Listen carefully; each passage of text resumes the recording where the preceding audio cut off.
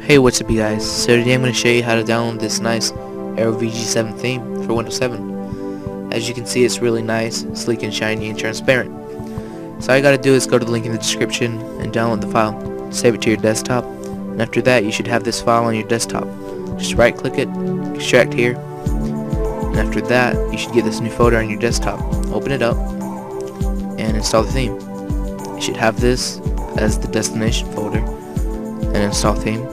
After that, the theme should be installed, and you'll have this nice theme called Aero VG7. It's right there, RTM.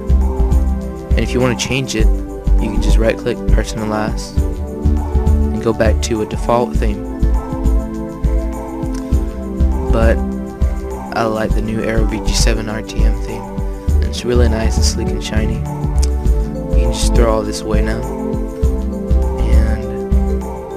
And watching. Enjoy your new theme.